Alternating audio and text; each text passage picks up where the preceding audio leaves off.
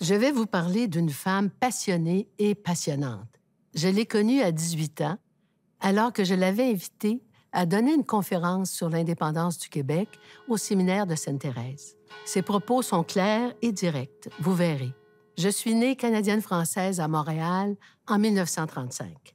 Une bonne fée, penchée sur mon berceau, me gratifia du désir et du sens de la liberté, objectif de toutes mes luttes, personnelles et collectives. Ce sont les mots d'André Ferretti, une écrivaine, une intellectuelle et une militante indépendantiste qui a osé rêver grand pour sa nation.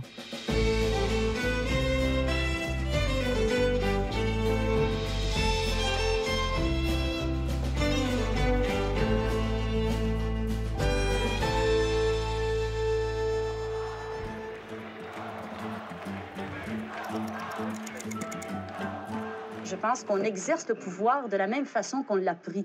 Et si on l'a pris appuyé sur une minorité de gens qui ont intérêt à nous le faire prendre, ben, on l'exercera pour cette minorité. Et je considère qu'il est très important, si on veut vraiment libérer les Québécois, de s'organiser pour que ce soit la masse des Québécois qui nous porte au pouvoir. La conscience sociale d'André Ferretti, né André Bertrand, est précoce, issue d'une famille modeste de Villeray à Montréal. Elle comprend vite que les siens vivent dans un état d'infériorité socio-économique et culturelle. Toute jeune, elle a été marquée par les grèves majeures de l'après-guerre. Asbestos, Louisville, Noranda.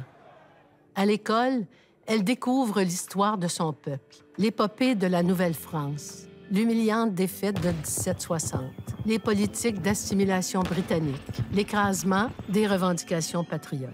Dès l'âge de 11 ans, son patriotisme s'éveille à la lecture de l'historien François-Xavier Garneau et surtout de Lionel Groux, dont elle admire la langue belle et sobre et la noble interprétation de notre histoire. Au début de sa vingtaine, elle suit un cours public de Maurice Séguin à l'Université de Montréal. Cet historien, sociologue et grand théoricien de l'indépendantisme québécois a influencé toute une génération d'intellectuels. Il la convainc que le Québec est une colonie annexée, une province méprisée par un État fédéral centralisateur. Elle est aussi influencée par les lectures des grands penseurs anticolonialistes de l'époque, France Fanon et Albert Memmi. Elle emprunte leurs concepts lorsqu'elle s'insurge contre l'état d'aliénation politique et culturelle de son peuple qu'elle considère profondément colonisé et étranger à lui-même, notamment dans sa langue. Peu à peu, alors que la Révolution tranquille bouleverse le Québec, son engagement s'intensifie. Lorsqu'un attentat felkiste fauche la vie d'un homme, Wilfred O'Neill, André Ferretti devient convaincu que son engagement doit plutôt passer par le militantisme. Parce que nous croyons que les révolutionnaires au Québec actuellement ne sont pas dans un rapport de force où la violence peut être profitable à l'organisation d'un parti des travailleurs. Indépendantiste de gauche, c'est naturellement qu'elle rejoint, en 1963, le Rassemblement pour l'indépendance nationale, le RIN. Un projet d'indépendance nationale au Québec n'a de sens qu'insérer dans un projet réaliste de libération économique et sociale. Elle est de tous les combats sur le terrain. Elle distribue des tracts, organise des cours d'histoire, participe à des assemblées de cuisine et des manifestations, notamment pour McGill français. André Ferretti est une des têtes d'affiche du RIN.